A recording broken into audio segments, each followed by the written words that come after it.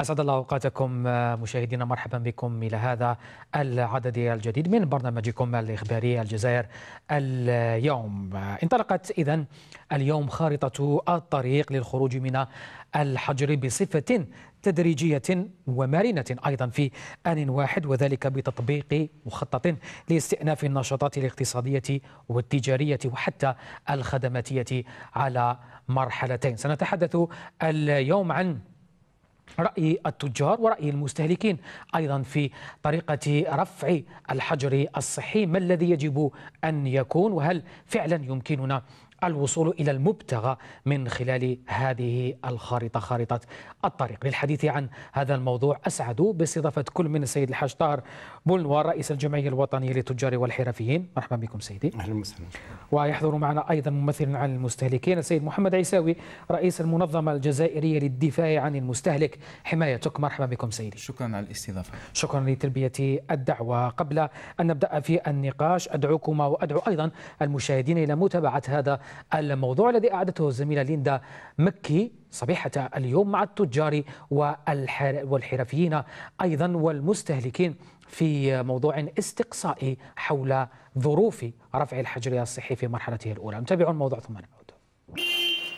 استئناف النشاطات الاقتصادية بعد رفع التجميد عن جزء من الأنشطة التجارية في مرحلتها الأولى. استبشر سكان العاصمة بداية من هذا اليوم آه، بفتح بعض المحلات التجارية وهذا لخروج من الروتين القاضي الذي الذي مورس علينا بسبب هذه الجائحة. فبالتالي ثلاث شهور ونحن في البيوت آه، فقط آه، بكل صراحة عانينا الأمرين يعني كنا في الحياة الطبيعية نشتغل ونخرج ون...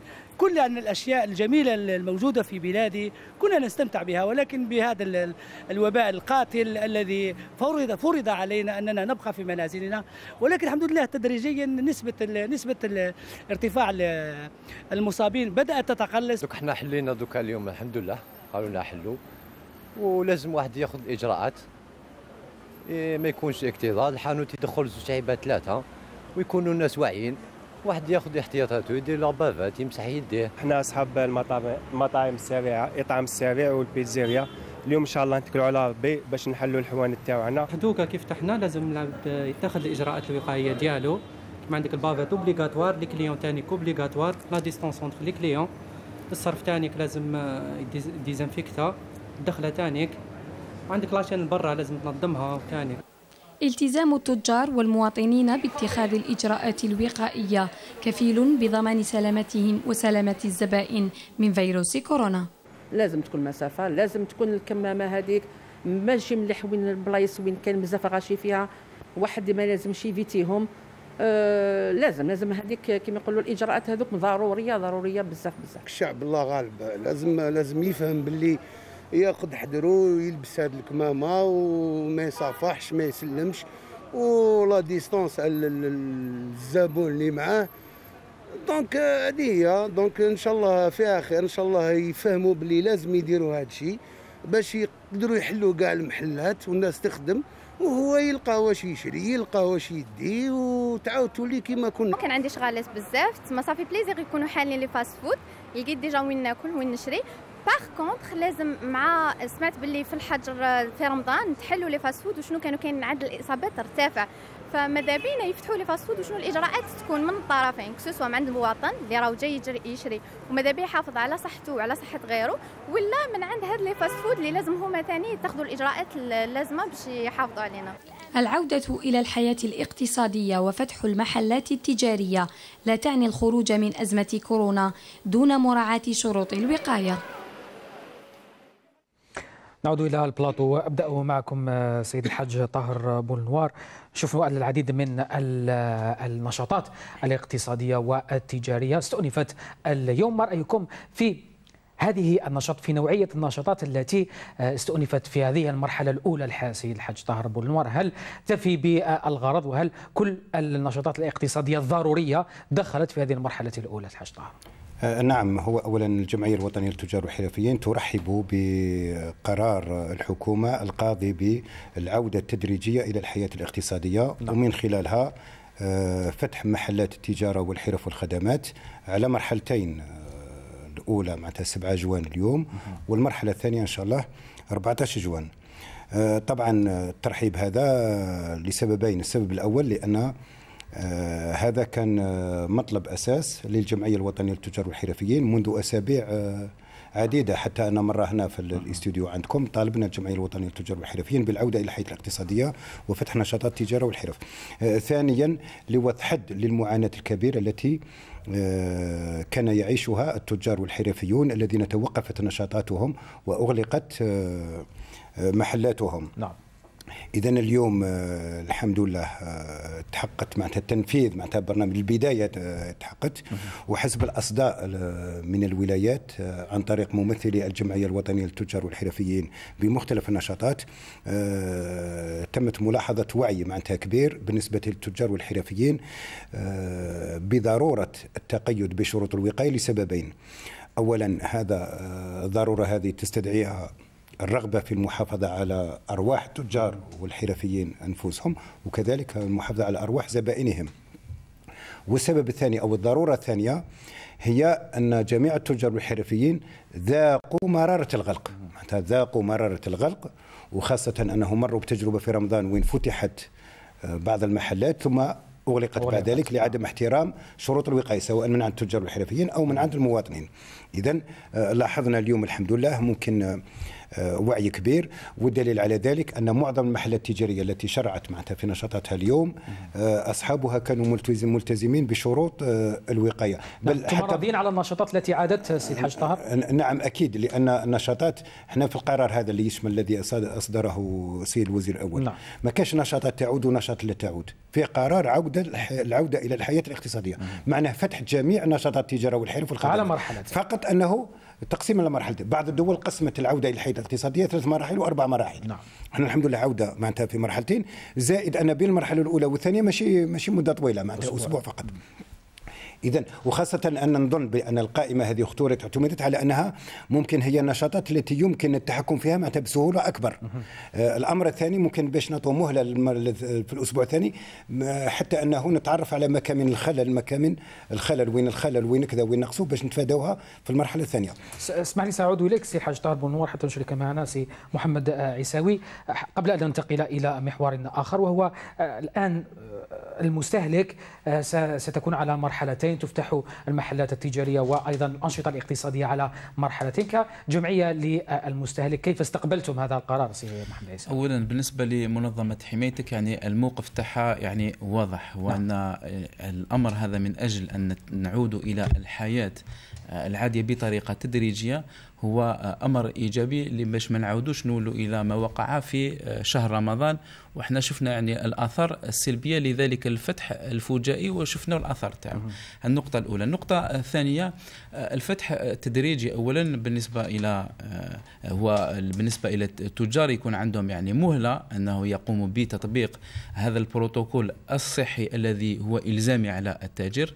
كذلك أنه على غرار ما شفنا حتى بالنسبة إلى في العديد من البلدان من أجل يعني مقارنة أو مقاربة يعني بسيطة. نعم. هو كان هناك يعني نجاح بالنسبة إلى هذا الفتح التدريجي وتأقلم التاجر وحتى بالنسبة إلى المستهلك لاحترام كل إجراءات الوقائية. هذا يخلينا نقول بلي أنه على التجار يجب أن يحترموا يعني كل هذه الإجراءات. ونحن يعني كنظرتنا استباقية يعني من أجل ما نوقعوش في يعني ما ما وقع في السابق لأنه كاين هناك يعني فترة تقييمية لأن حتى بالنسبة للتاجر وحتى بالنسبة للجامع كاين هناك فترة تقييمية نعم. في الفتح اللي هي 15 يوم يتم تقييم هل هذه العملية نجحت أو لم تنجح من ناحية يعني الصحيه وانتشار يعني نعم. هذا الوباء الكورونا المستجد وباش ما نعاودوش نولوا إلى الغلق اللي يكون عنده أثر سلبي على التاجر وحتى بالنسبة إلى المستهلك اللي يريد أن يستأنف حياة أو يعني معايشة هذا الوباء بطريقة يعني سلمية نعم. وتكون تدريجيه يعني بصفة عامه للجميع. جيد لكن الحاج طارق بن نوار الآن عدم العودة إلى الغلق وتكرار تجربة ما حدث في رمضان أن يقعوا على مسؤولية التاجر لأنه حتى في البيان يحدد هذه المسؤولية ويقول عليهم بالامتثال وسيخضعون للغلق حتى ان بدر عدم احترام الإجراءات من عند الزبون نفسه سي الحاج طارق. نعم صح في القرار جاء ضمن أن مسؤولية الإخلال بشروط الوقاية من الفيروس معناتها أي تهاون داخل المحل فيقع يتحمل مسؤوليته التاجر أو الحرفي معناتها صاحب المحل. لذلك هنا التاجر عنده مسؤوليتان أو مسؤولية مزدوجة. يجب أن يجتهد من أجل أن يتقيد هو بشروط الوقاية وكذلك يجب أن يقنع اولا أو يلزم ثانيا زبائنه المستهلكين والمستهلكات الذين يدخلون المحل بضرورة التقيد بشروط الوقاية حتى أنه ما دام هذا فر معناتها لازم التاجر هو المسؤول صحيا على نفسه وعلى الزبون حتى أن التاجر يحق له في الأيام العادية لا يحق له طرد الزبون أو آه، رفض دخول الزبون أو عدم خدمة الزبون نعم. الآن في هذه الفترة نقولها بصراحة أي تاجر أو حرف يحق له أن يمنع أي زبون أي مستهلك أو مستهلكة يريد الدخول إلى المحل وهو غير مرتدي للباس الواقي القناع الواقي ماشي لبس كمامة. ويحق له أن يمنع من الدخول أي زبون أو زبونة لا يحترم مسافة التباعد الاجتماعي داخل المحل. وهنا نقول ونعودها يحق له معناتها يحق له طرده من المحل. هذا لأن التاجر عنده مسؤولية مزدوجة. نعم. وأيضا المواطن رسالتي إلى المواطن إلى المستهلك والمستهلكة. أيضا لابد أيضا هو معني ب بشروط الوقاية من الفيروس لأن الأمراض اللي كانت الحالات الإصابات بالفيروس حتى الأطباء راهم يقولوا حتى المستشفيات راهم يقولوا الذين جميع الذين أصيبوا بل حتى الكثير من الذين ماتوا رحمهم الله. الفيروس ما ما قاسهمش ولا ما تنقلهمش من محل تجاري. كاين اللي من العرس كاين اللي مضياف جنب واحد مضياف هل نغلقوا ثاني المنازل نتاعهم؟ نغلقوا الطرق. اذا ماهوش المحل التجاري هو فقط الذي يراقب.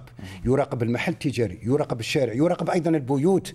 اذا حتى المواطن عنده نفس المسؤولية كما لكن الناس الحاج طه من يراقب؟ اسمح لي من يراقب هذا التاجر؟ لأنه تعرف أنه العديد من التجار عنده ثلاث أشهر هو أنا جاي نكملك أنا جاي نكملك. نعم. التاجر عنده عدة هيئات تراقبه. أولا نعم. أعوان مفتشية التجارة لهم الحق بمراقبته. مصالح الأمن لهم الحق بمراقبة التاجر. حتى القرار ماذا تضمن؟ القرار تاع الحكومة نعم. الذي أصدره سي الوزير الأول. من منحت أيضا صلاحيات واسعة للولاة من أجل أن يضيفوا بعض الإجراءات تتناسب مع ظروف ولادهم. نعم. من بين هذه الإجراءات تكثيف الرقابة عن طريق السلطات البلدية ولا الولاية ولا الدوائر. اذا هذه كل الهيئات تراقب التاجر اذا الآن ننتظر ماذا؟ ننتظر هيئات ممكن الرقابة الذاتية تاع المواطن. ننتظر أيضا ممكن شركائنا أيضا في الجمعية تحمي المسلم يكثفوا الرقابة تاعهم على المواطن لأن تكثيف الرقابة على التاجر ماذا يعني؟ المواطن يخلي يفهم أن الخطر يجي من المحل التجاري ما يجيش من الشارع ما يجيش من عدم احترام شروط الوقاية من البيت من الشارع من امام العمارات. لذلك كما كاين هيئات رقابة تراقب التاجر نتمناو أيضا من جمعيات حماية المستهلك لأن هي أقرب إلى المستهلك تكثف الرقابة نتاعها للمواطن على المستهلك. ما دام حاضر معنا سي عيساوي. سي عيساوي الآن على حساب آه، آه، اتحاد التجار وجمعيه التجار يقول لك أنه المسؤولية أيضا تقع على المواطن. أكيد ربما المحل التجاري يغلق إذا كان فيه مواطن ما التزمش بالتدابير داخل المحل. يعني المسؤولية تقع على المواطن وليس فقط على التاجر. ما الذي قمتم به أنتم سي آه، سي عيساوي؟ عيساوي من أجل تحسيس المواطن بهذه المسؤولية. منظمة حمايتك يعني قامت يعني بوقفة وهبة وطنية فيما يتعلق هذه الفترة هذه بحملات يعني تحسيسية التي شملت أكثر من 41 ولاية على عبر كامل التراب الوطني. آه، تكثيف يعني هذه الحملات من أجل أن نكون عندنا يعني مستهلك واعي بهذه الإجراءات التحسيسية إلى آخره ويعني هذا اللي التمسنا أن حتى في الميدان حتى درجة الوعي أصبحت يعني تكون إيجابية إلى مختلف يعني مواطنينا. ولكن المسؤولية هي حقيقة مسؤولية الجميع بالنسبة لمسؤولية المستهلك وحتى التاجر ولكن بدرجة أكثر بالنسبة إلى يعني هنا اسمح لي اسمح لي سي عيساوي لأنه هنا على حسب سي آه، سي طاهر بولنوار أنه اللي راح يخلص هو التاجر. مع أنه ماشي هو اللي يقوم بالخطأ. سي سي المسؤولية هي بدرجة أكبر على التاجر وحتى بالنسبة للمستهلك لديه مسؤولية. أيضا لأن نعم. راهو في المحل تاعو يجب أن يكون هناك. حتى بالنسبة إلى هذا الدليل آه، من أجل الإجراءات الوقائية الصحية آه، وكمصطلح يعني وكأنه دليل أمر اختياري لازم يكون هناك بروتوكول وقائي صحي ملزم للتاجر يجب أن يكون هذا الشيء يعني إلزامي له. حتى بالنسبة لتجار إحنا نحن نعلم أنهم يعني راهم مروا بفترة يعني صعبة إلى آخره. ربما تكون هناك يعني بعض الممارسات من أجل انه يكون هما محاولة يعني ربح أو استرجاع تلك الأرباح يعني التي تكون.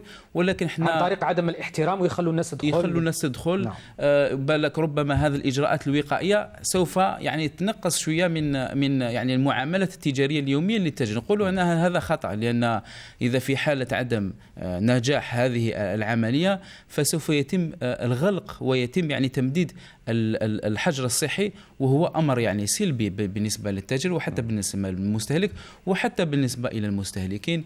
يجب أن الالتزام بكل هذه الإجراءات الوقائية يعني حفاظا على جيد. صحة وأمن الجميع. جيد. وفي نهاية المطاف هو حتى التاجر يمكن أن يصبح هو أيضا مستهلك لما يروح المحل آخر يعني المسؤولية متقسمة الآن نسي الحاج طارق بن الكثير من المواطنين الآن يتخوفون من واحد من الأمور التي تحدث عنها سي عيساوي وهي الربح السريع بسبب ما حصل خلال هذه الثلاث أشهر. ربما بعض المواطنين سيرفعون من الأسعار.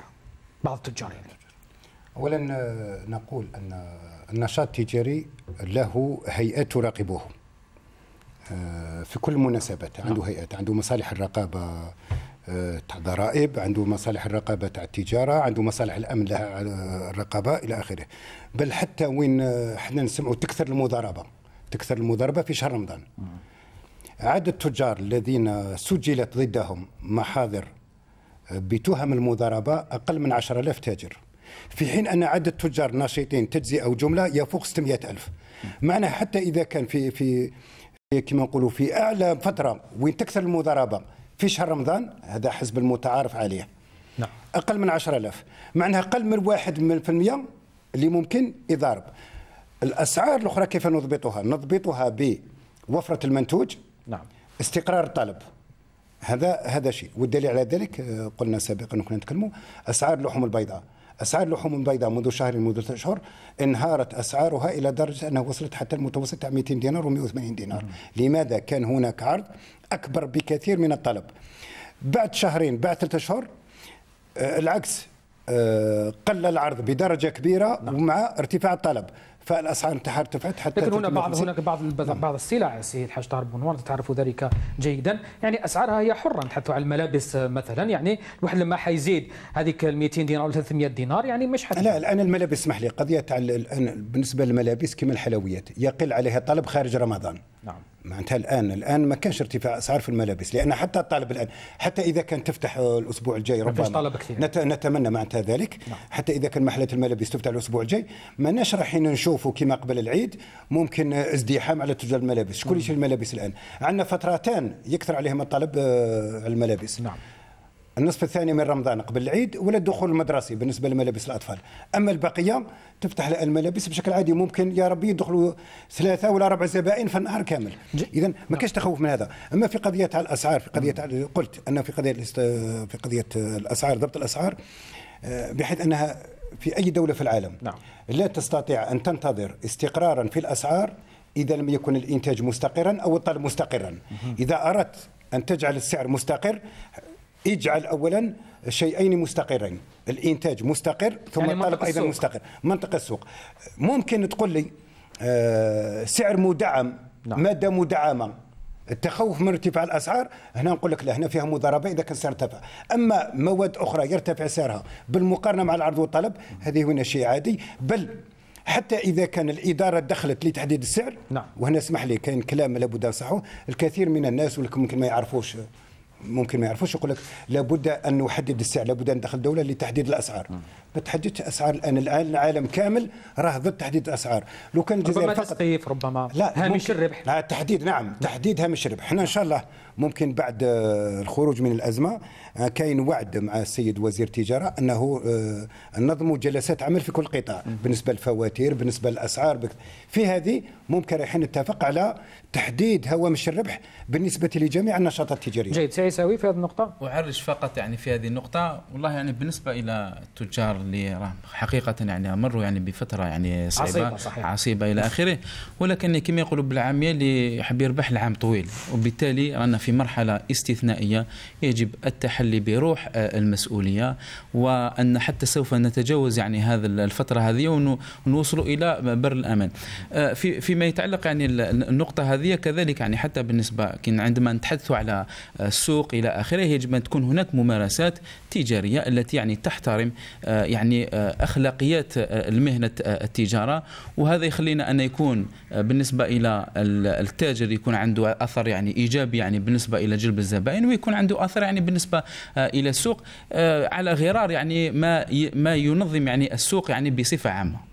أو يقول يتحدث على اخلاق التعامل التجاري سي حاج دار المنوع نعم صحيح إحنا لا أخفي عليك سرا أنه ممكن بعد أسابيع نعم. سنشرع معناتها بإشراف مصالح وزارة التجارة في تنظيم لقاءات واستشارات في أخلاقات جميع النشاطات التجارية جميل. لكن المقابل أيضا ممكن مرحلة ثانية أيضا التفكير مع زملائنا وشركائنا في جمعيه تحميل المستهلك أخلاقات السلوك الاستهلاكي أيضا آه هذا الحقيقة كلنا مسؤولون وما دام كلنا مسؤولون كلنا محتاجون إلى مزيد من التوعية والتحسيس من أجل اخلاقات جميع نشاطاتنا سواء نشاطاتنا التجارية سواء نشاطاتنا آه، الاستهلاكية فقط اسمح لي كاين نقطة هنا نعم. أشير إليها ما دام الحديث متعلقين نعم. العودة إلى الحياة الاقتصادية باش المواطن يفهم والتاجر يفهم والحرفي يفهم آه، العودة إلى الحياة الاقتصادية. عندما قررت الحكومة العودة إلى الحياة الاقتصادية وكذلك العودة إلى ممارسات تجارية وحرفية كانت مغلقة.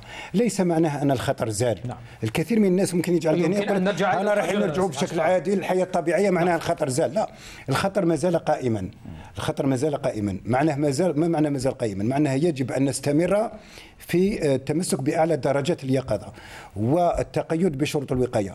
مؤسسات الصحة في الجزائر، الأطباء في الجزائر، وزارة الصحة في الجزائر، وزارة الصحة في كل دول العالم، الأطباء في كل دول العالم، آه، كبريات المخابر الطبية والصحية والأدوية في العالم، بل حتى المنظمة العالمية للصحة في المنظمة العالمية للصحة، كلهم راهم يقولوا ويأكدوا أن ممكن فيروس كورونا يبقى يشكل خطر على البشرية والإنسانية ستة أشهر أو عام وممكن عامين نعم.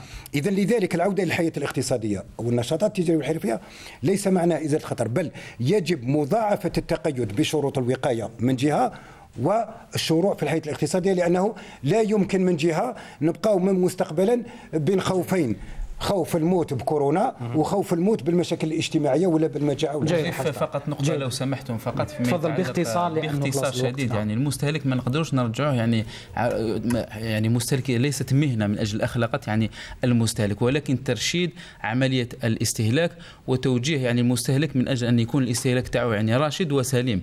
ولكن يعني عندما نتحدث على مهنة يجب أن هذه المهنة يتحلى بها يعني الاخلاق جيد جيد, جيد وصل وصلت وصلت الرسالة ما بين الترشيد الترشيدي والأخلاق. ربما هذا موضوع سنثيره كل شيء كل شيء مرتبط بالأخلاق. جيد سنثيره كل شيء بحاجه إلى أخلاق. سنثيره في حصه نعم. سنثيره في حصة أخرى. سي الحاج طالب وشكرا جزيلا لك رئيس الجمعية الوطنيه التجاري والحرفيين. شكرا جزيلا لك على الحضور. والسيد محمد عيساوي أيضا رئيس المنظمة الجزائرية للدفاع عن المستهلك حمايتك. شكرا جزيلا لكما. متواصلون معكم مشاهدينا إلى الملف الثاني. يعطيكم الصحه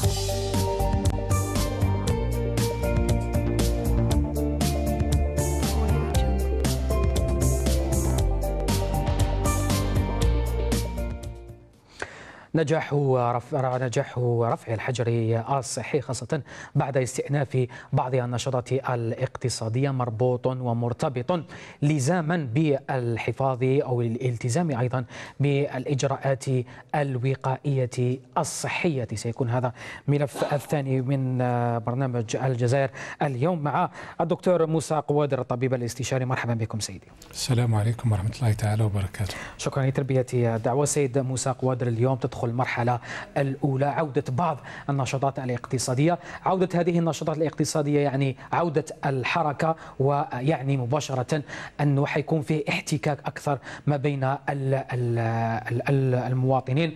وهذا هذا الشيء اللي دائما ننصح بتفاديه الآن سيد موسى قوادر. كيف يمكن أن نجمع ما بين مزاولة هذه النشاطات وما بين الحفاظ على الصحة العمومية؟ بسم الله الرحمن الرحيم والصلاة والسلام على أشرف المرسلين آه البداية اللي لازم نقولها نعم. ونكملوها حتى في الختام يعني آه نهاية الحجر الصحي ماشي معناها نهاية الوباء وماشي معناها نهاية الإجراءات اللازمة نعم. للحفاظ على الصحة العمومية. نهاية الحجر الصحي أولا ما تقدرش تكون نهائية نهاية يعني هكذا. لازم تكون نهاية تدريجية أولا. ثانيا هي مرتبطة كثير بكل الإجراءات الوقائية سواء من طرف آه، التجار أو من طرف المواطن. وأنا يعني نقول من طرف المواطن لأن التاجر هو مواطن قبل ما يكون تاجر. نعم. وحتى التاجر آه، ربما يكون آه، مشتري عند تاجر واحد آخر. دونك نجملوها في السلوك نتاع المواطن بصفة عامة. الإجراءات الوقائية لازم تكون تتبع يعني ربما أكثر من الوقت اللي فات. على خاطر الوقت اللي فات كان كما قلت انت الاحتكاك كان ناقص. لأن المحالات كانت كانت مغلوقة وسائل النقل كانت ما كانش. نعم. آه الناس ما كانوش يخرجوا بزاف وكنا نقولوا التزم البيت نتاعك. اليوم راح تولي النشاطات تبدأ تدريجيا وراح يكون يعني آه احتكاك أكثر ويكون آه الناس اللي تكون في الشارع أكثر والناس في المحلات اللي تكون أكثر. ولهذا يعني كطبيب النصيحة اللي نقدروا نمدوها للمواطن هو أن إذا كان كنا نقولوا باللي الإجراءات الوقائية لازم تكون آه، مثلا 70% نعم. مع هذا رفع الحجر نعم. والنشاطات هذه لازم تكون 90 أو 100% آه، الإنسان يكون حاضر على روحه لأن النشاطات راح تبدأ والاحتكاك راح يكون وهذا هذا الشيء هذا هو اللي يقدر يسبب انتشار الوباء ولا عودة انتشار نعم. الوباء اللي رانا الحمد لله نشوفه في النتائج راهي راهي تنقص. جيد دكتور الإنسان يعني بطبيعته الإنسانية لما يتابع الأخبار وخاصة الأرقام والإحصائيات لما يشوف أنه عدد ال ال ال ال الأشخاص الذين تماثلوا للشفاء أكبر من عدد الإصابة وأكبر من الوفيات. ربما يكون فيه استهزاء دكتور شو نقولوا المواطن لما يقرأ هذه المعطيات؟ والله أنا في وقت فات كنت قلت باللي المنظومة الصحية يعني وقعت ضحية نجاحها ضحية نجاحها نعم. وقلتها من قبل ضحية نجاحها ولكن هذا النجاح هذا إحنا لازم نستغلوه بصفة إيجابية ما نستغلوش بصفة يعني سلبية نعم. إذا كان قلنا نجاح هذا الشيء هذا النجاح نتاع نتاع الأرقام هذو اللي رانا نشوف فيهم هذا لازم يكون حافز كبير اللي نزيدوا بال بال بال بالإجراءات الوقائية اللي كنا نتكلموا عليها. ما لازمش قال إحنا وصلنا لواحد الدرجة وين الوباء يعني تمكنا من السيطرة عليه نوعا ما. آه قال خلاص. هذه اولا.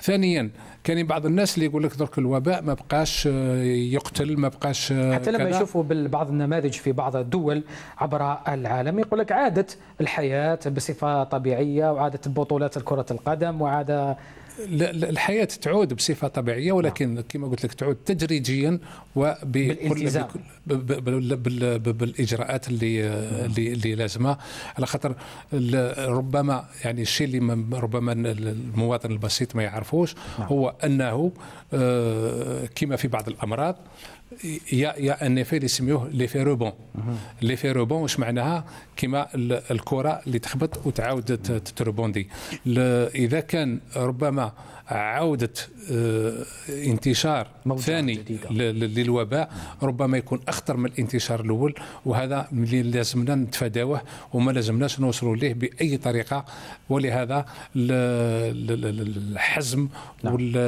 والتوعية لازم تكون كبيرة عند كل المواطنين في كل الأماكن وفي كل الظروف. نعود نرجع للإجراءات الآن مدام في احتكاك كما قلنا دكتور موسى قوادر في احتكاك يعني الزاميه إلزامية حمل القناع الواقي. الآن أصبح أكثر من ضرورة ربما المواطن لما كان في بيته ربما فيه تهاون لما يخرج. لكن الآن راه يخرج ويمارس نشاط راه يروح يروح يعني للمحلات التجارية والمساحات التجارية أيضا. ربما بعد 14 جوع يكون فيه النقل أيضا دكتور. الآن نعود نرجع إلى إلزامية القناع الواقي.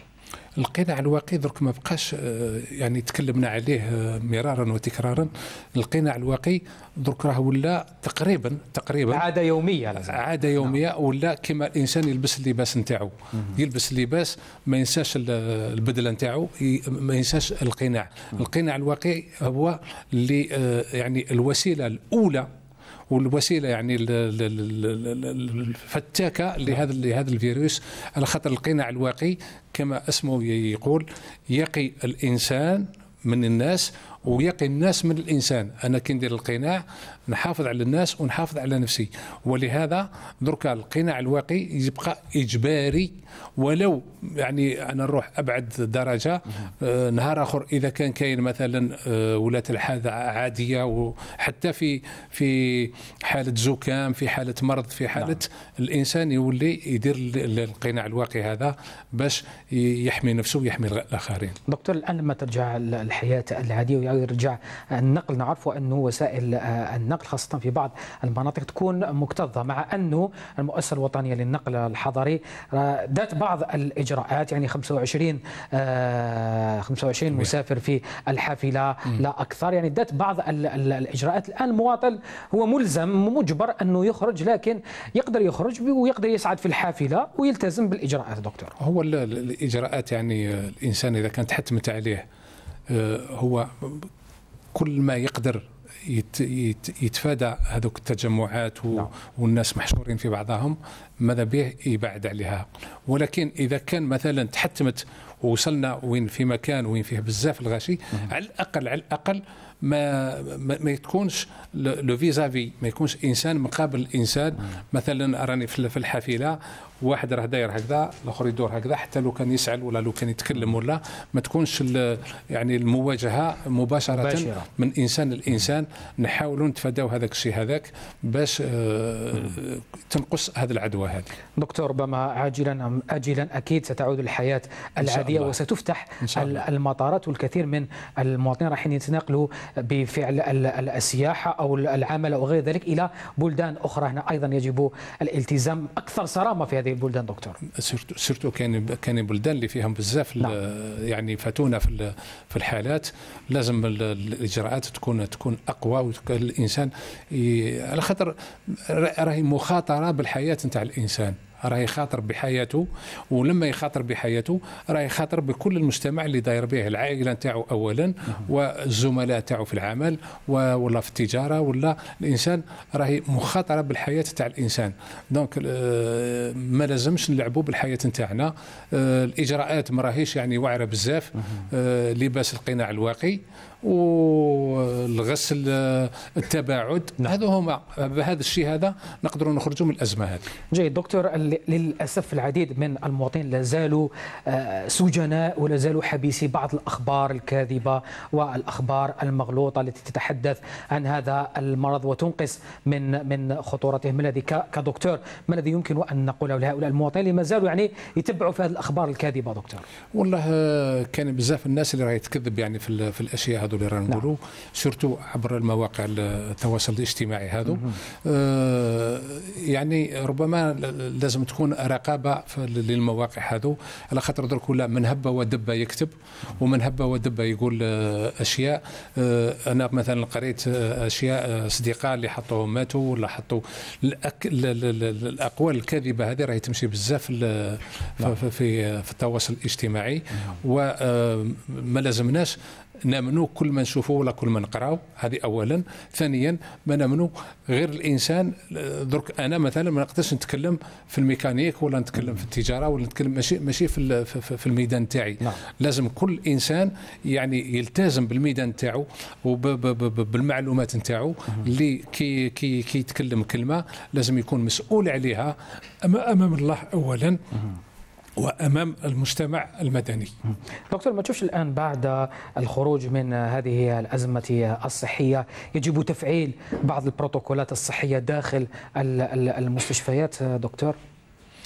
هي يعني أنا نظن ربما من المفروض تكون موجودة يعني إيه ربما رايحه تتمركع عليا معليش ولكن أنا نظن باللي ربي سبحانه كل شيء اللي يعطيه لنا فيه فائده حتى الوباء هذا يعني علمنا بزاف الحوايج. وهذه الحوايج هذو كان ربما حوايج سلبية كنا نتكلموا نعم. عليها نعم. ولكن كاين بزاف الحوايج الإيجابية إيجابية. اللي اللي تعلمناهم ولازم نثابروا عليهم ولازم نبقاو آه، نتبعوا في هذوك ال- الإجراءات هذو اللي اللي درناهم سواء يعني بالدرجة الأولى في المستشفيات بيان سور على خاطر في المستشفيات يقصدهم المريض نعم. ويقصدهم ال- الإنسان اللي ربما حامل الفيروس ولكن في كل أماكن وفي كل الاماكن العمومية وحتى في البيوت نتاعنا لازم آه، ناخذوا الإجراءات تاعنا دكتور ربما أزمة مثل هذه تعاود ترجع إلى ال- الواجهة طبيب طبيب العائلة كما كان يسمى من قبل اللي يتابع هو بصفة دورية يتابع ال- المواطنين. هي يعني آه، حبذا لو كانت تولي هكذاك على خاطر آه، آه، إحنا كنا تكلمنا عليها بزاف. آه، المواطن الجزائري آه، ما عندوش يعني آه، آه، يتبع طريقة نتاع العلاج نتاعو. آه، مثلا اليوم جاء عندي مواطن نعم. آه، ربما كشفت عليه عطيت له الدواء ربما ما نفعوش. من الأحسن يعاود يولي لي أنا باش نعاود نراجع نفسي ونعرف نحوس على حاجة واحدة أخرى. حنا عندنا المواطن يروح للطبيب ما نفعوش الدواء يبدل طبيب واحد آخر.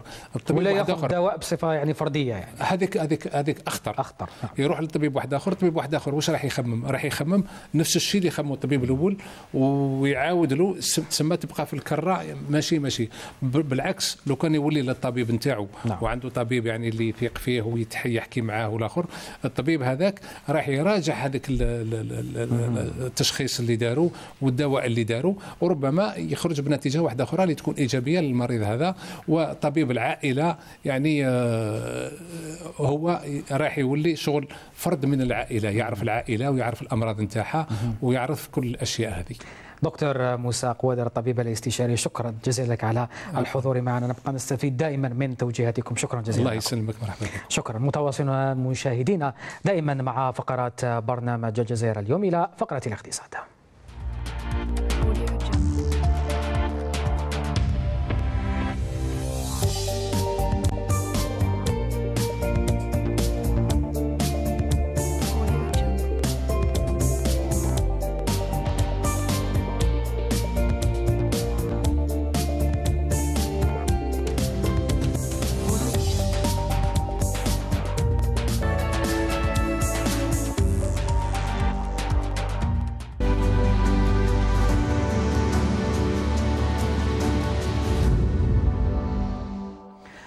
من أخبار مجمع الحجار وصولا إلى أسعار الذهب الأسود والذهب الأصفر. تقول زميلتنا النوار في أخبار الاقتصاد. مرحبا بك زميلتي. مرحبا زميلي سيد أحمد. مساء الخير مشاهدينا الكرام واهلا وسهلا بكم إلى أخبار الاقتصاد لهذا الأحد والبداية من مجمع الحجار. فبعد 15 يوما من التوقف عادت وحدة تحضير المواد لمجمع الحجار للعمل وذلك في وقت قياسي.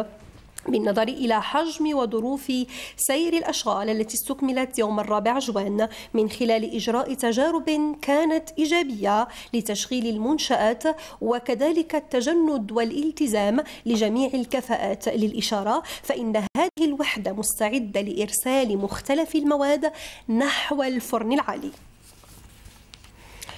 تستعد الشركات الصناعية لاستئناف نشاطاتها من خلال اتخاذ جملة من الإجراءات للتكيف مع متطلبات مكافحة وباء كوفيد-19 حسب ما أفاد به منتدى رؤساء المؤسسات. مشيرا إلى اتخاذ الإجراءات الوقائية اللازمة على مستوى الشركات الصناعية والمؤسسات بصفة عامة مراعاة للظرف الصحي الحالي على أن تكون نسبة النشاط حوالي 60 من المئة من طاقة المؤسسات. إلى قرار الاجتماع الوزاري الحادي عشر لأعضاء منظمة البلدان المصدرة للبترول أوبيك وشركائها غير الأعضاء الذين وقعوا على إعلان التعاون المنعقد أمس عبر تقنية التحاضر عن بعد على تمديد العمل باتفاق خفض الإنتاج القياسي لشهر جوان بتسعة مليون برميل فاصلة سبعة يومياً. وتسعة مليون فاصلة ستة يوميا خلال شهر جويليا. وسيجتمع, وسيجتمع عفوا أعضاء الأوباك وشركائها مرة كل شهر خلال الثلاثة أشهر القادمة لتقييم الاتفاق ودراسة وضعية سوق النفط. وإلى العالم عودة الحياة الاقتصادية تدريجيا وسط تعافي في أسعار النفط يقول مالك درحمون في هذه الورقة. الحياة تعود تدريجيا بعد جائحة كورونا التي أغلقت العالم.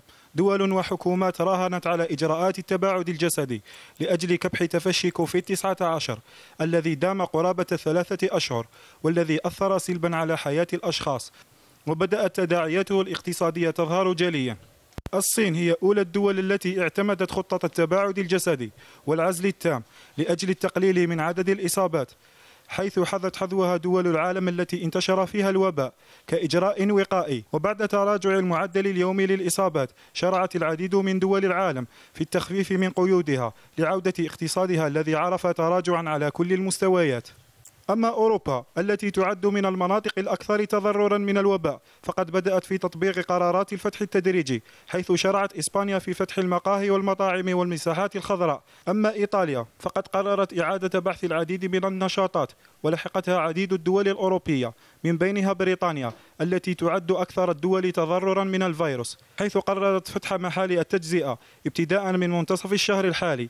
يأتي هذا في ظل عودة الأنشطة الاقتصادية إلى طبيعتها بشكل تدريجي حيث تواصل أسعار البترول ارتفاعها وتجاوزت سقف الأربعين دولارا لأول مرة منذ ظهور الجائحة بعد تسجيل العديد من دول العالم خسائر فادحة في مختلف المجالات. وارتفاع معدل البطالة إضافة إلى شركات الطيران التي عرفت إفلاس العديد منها. الجزائر أعدت بدورها خارطة طريق استئناف تدريجي للنشاط الاقتصادي والتجاري على مرحلتين. الأولى بداية من الأسبوع الحالي والمرحلة الثانية تتزامن مع منتصف الشهر. ويبقى مشروطا بالتقيد الصارم في أماكن العمل والتجمعات بتدابير صارمة للوقاية الصحية على غرار باقي دول العالم. وإلى أسعار الذهب الأسود التي تعرف انتعاشا هذه الأيام حيث وصل سعر البرميل اليوم إلى 41 دولارا فاصلة 96 للبرميل.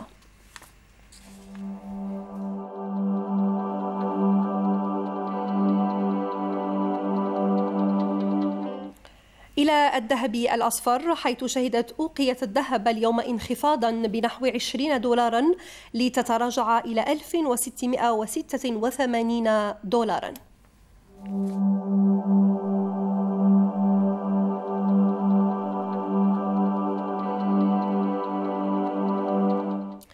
ونختم نشرتنا الاقتصادية مشاهدينا بأسعار صرف العملات مقابل الدينار الجزائري. نتابع.